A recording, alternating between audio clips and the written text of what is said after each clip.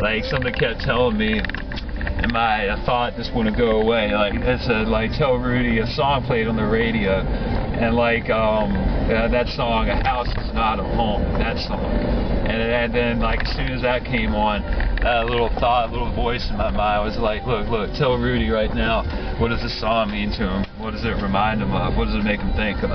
Ask him, ask him, ask him. Kept asking me that. So I just came out and said, look, Rudy, uh, uh, I think somebody's trying to say something to you. I was like, look, um, what song, the song that's playing now, um, they're saying that, the voice is saying, ask him who it reminds him of. And he's like, oh man, that's my mom's favorite song. She, she was like, she always, when the song came on, she, she got up and danced around to it every time. You know, it was her favorite song, but pretty much of all time. So, see what I'm saying? That's confirmation right there. I couldn't have made that up. How would I have known that about about his mom? How would I have known that? You know? I can see her right now. I see her in my mind right now. Like I said, they know when you're talking about them or thinking about them. Spirits do. But, um, anyway, stuff like that is, um, you know, stuff like that is the reason I do things. You know, part of the reason I do this for people because I like to be able to show love, and I show love to people. You know what I'm saying? This really helps people. And uh, another thing too with Jeremy, man, like you know, he called today and we got our shit straight. You know, we got shit straight. I think he was just under some pressure from other things going on. You know, but I don't feel bad about what I said. It was the truth. I, I needed to say what I said the other day on that other video. You listen to that part of that conversation when uh, he got so mad he hung up on me. You know, on what I was saying, and then wouldn't answer for a couple of days. But it's all good now. We're, he's gonna get back on track. I've got a good feeling that he'll be back on track on this, on what we're on our work, on our life work here. So starting to rain right now. It's supposed to rain today. I don't know if it's to be rain or just ice tonight. It's supposed to be freezing rain, possibly. But something about this weather has a good vibe today. So I'm feeling real good. Compared to yesterday, I was kind of depressed. But I'm alright now. Hopefully it'll stay like this. But I'm just thinking about that that the dude that um that Vern's son murdered, and um you know that was a real uh, kind and beautiful thing for him to do.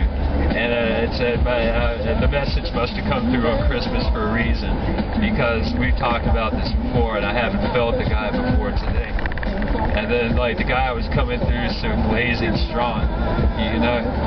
I wasn't seeing him like a hologram like Jeremy does right in front of him, you know, but, like, the thought would just not go away, you know. I, uh, I was unable to unfocus off, off that message until I spoke the words to Jerome to give to his son, to write him and tell him that we've thought about doing this for um, for people in prison before.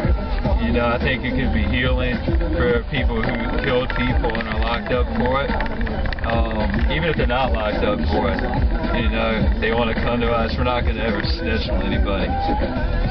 You know, we're not going to tell you that. It's up to you. But you know, if you ever want to just see what happens, it's up to you. But um, pray so you can find some inner peace. You know. Uh, but thought about doing that for people in prison for, for murder and whatnot, you know, because I think spirits could have um, spirits of the people that they imagine that they killed, you know. Um, that's all it is, and it's a dream, imagination thing, because you can't kill anything, nothing, nothing. Can't kill anything, nothing in the world you know, not even animals. Animals are like people. But um, but yeah, we want to do that. I want to do that. You know, for people who want to experience that, they can write. And um, um, if you know anybody that might want to do that, who's locked up, who, who might benefit from that, if they're open to it. Um, I have um, address you can send, they can write me at. Um, send it to, um, uh, to uh, Matt Wright, W-I-G-H-T, two T's on the Matt, at P.O. Box 4272. Richmond, Virginia 23220-8272. P.O. Box 4272. Richmond, Virginia 23220-8272. And um, you know, if anybody, you know anybody locked up who just needs someone to write, someone to talk to about anything, not just what I just said, just spiritual issues, or just needs a friend. Um, I, I've been locked up before, so lots of different times. I, I I've been in prison, and I understand. Uh, believe me, I know. You know, it hurts to be alone, and you're just sitting there. People forget about you on the streets and whatnot. So I'm here for them too.